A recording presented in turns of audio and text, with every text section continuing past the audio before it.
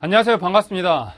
final 학습법으로 여러분 만나게 됐는데, 어, 오늘의 cast가 올해 여러분 수능을 위한 마지막 cast일지, 아니면 하나가 더 있을지, 정답은 여러분 선배들은 알고는 있을 텐데, 어, final 학습법, 이런, 이라고 등장했으면서 무슨 final check point? 뭐야, 강의 홍보하는 거야? 알토란 같다. 아, 꽉 차고, 부실하지 않고, 정말 매력적인, 맛있는 강의. final checkpoint, final 학습법에 꼭 필요합니다. 뭐야, 자기 강의 홍보. 왜냐면, final checkpoint는요, 생윤하고 윤사하고 표지도 너무 아름답네. 어? 돌리면 막 이렇게 정답이 나올 것 같지. 2022부터 2025까지 연계 교재, 기출을 가져다가 마무리 정리하는 겁니다. 윤사는 6강, 그 다음 생윤은 5강. 여러분 선배들이 정말 좋아했던 마지막 강의예요. 그래서 final 학습법으로 최, 여러분들이 딱 들으면서 아 이게 진짜 나에게 있어서의 맞춤형 final 학습법이구나 라고 생각할 수 있도록 이게 이제 다음 주부터 한 주에 한 강씩 이렇게 탑재가 될 거거든. 그래서 생윤은 주요 주제 평화 여러분들 싫어하잖아. 그 뭐 모겐소 칸트. 칸트는 윤사에도 등장하지만 전쟁 선포할 때 국민의 동의가 필요한 게 맞는지 이런 것들. 그 다음에 윤사에서 생피에르는 공화정인지 군주정인지 그 다음에 윤사에서 있어서 주자는 마음이 모든 이치를 갖추고 있는 것이 맞는지 틀리는지 생윤에 있어서 레거는 인간과 동물이 동등한 도덕적 대우를 받을 수 있는지 테일러는 인간, 동물, 식물이 동등한 배려를 받을 자격이 있는 게 있을 수 있는 게 맞는지 틀리는지 이런 것들 마무리 점검해야 되거든요.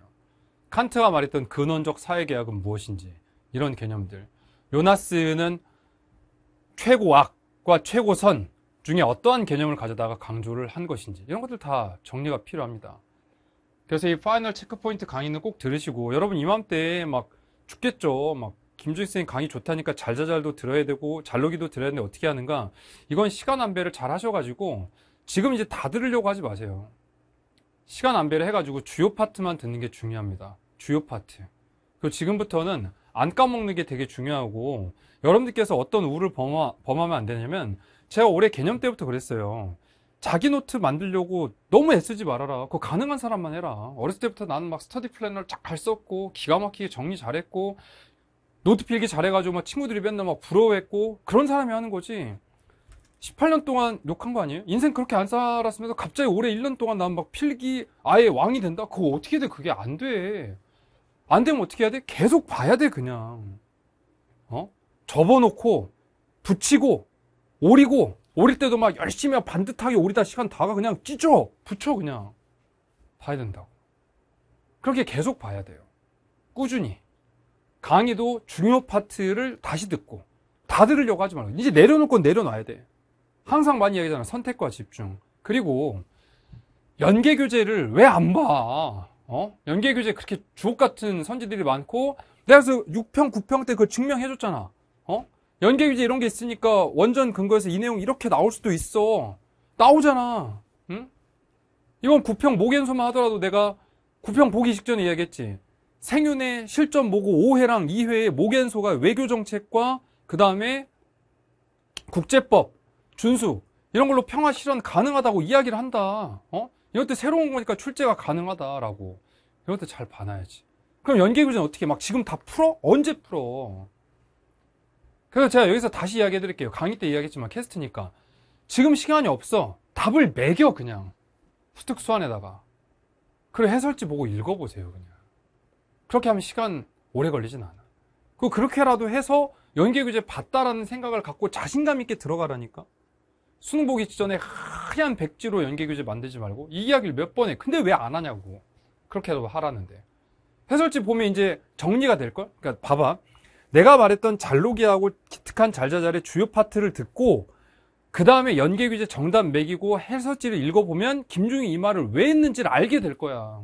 그때 여러분들이 카타르시스를 느끼겠지. 응?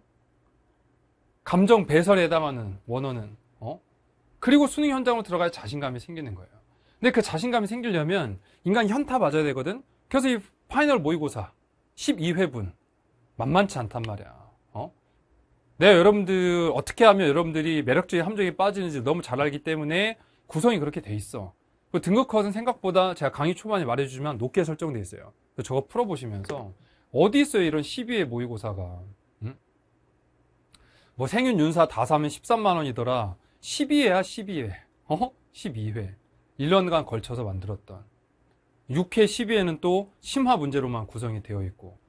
그래서 final 학습법 뭐야? 자기 강의 홍보만 하고. 그럼 final 학습법 할 때 내가 뭐, 뭔 얘기를 하겠어? 어? 뭐 다른 강의 봐라 뭐 이러겠어? 내 거 보느라 고생했으니까 final 땐 딴 거 봐 뭐 이런. 그게 아니라 여러분은 끝까지 책임지고 가잖아. 열심히 노력하면서. 저도 노력하고 살잖아요. 열심히 강의하고 준비하고 저도 공부하면서. 응? 그래서 어제도 연대에서 공부하면서 연고전 고연전 전야제 때문에 수업하는데 막 밖에서 다비치 노래가 막 들려. 윤도현 노래가 들려. 막. 나가고 싶은 욕구를 인스타에 막 표현했지. 인스타 놀러와 보시고 한번. 인스타 팔로우 늘리는 거죠.